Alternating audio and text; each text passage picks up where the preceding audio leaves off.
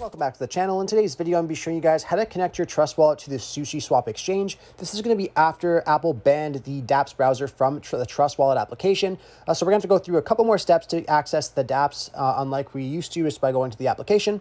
Uh, but before we get started here, I'd just like to remind everyone that I do have daily cryptocurrency tutorials on my channel. So if you guys are interested in learning about crypto, how to buy, how to sell, and more, I'd really recommend subscribing to the channel as I'll have lots of content coming into the future.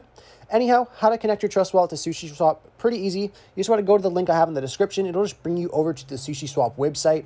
And once you're on the SushiSwap website here, all you have to do is click on Connect to Wallet. But before I show you how to connect it, I just want to remind everyone you can add this directly to your home screen. It's a lot safer and a lot easier if you just add it to your home screen. And you can do that by clicking on the Share button at the bottom of the screen, scrolling down, and clicking on Add Home Screen.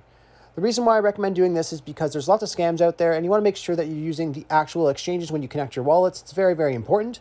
Uh, anyhow, all you have to do is just click on add to home screen and then you can just go click on the app whenever you want to use CC SushiSwap. So it's very, very easy and uh, to use, but the same process is on the app version here and on the browser. It's the exact same thing. All you want to do is click on connect to wallet at the bottom of your screen. Then you have an option to click on wallet connect. You want to go ahead and click on wallet connect. Then we're going to have an option to choose our preferred wallet. So in this case, it's going to be Trust Wallet. And then it's going to pop up Trust Wallet here asking us to connect to SushiSwap. So we'll just give this a second to load up.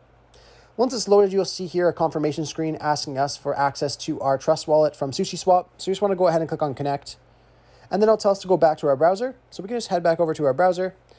And then we'll be fully connected to SushiSwap. You'll know that you're connected when you see your Ethereum balance, as well as your wallet address on the bottom of your screen. Very, very simple. Anyhow, I really hope I was able to help you guys out with showing you guys how to connect to SushiSwap with your Trust wallet after the ban. If this video did help you out, be sure to leave a like on the video and subscribe for more content. Thanks for watching.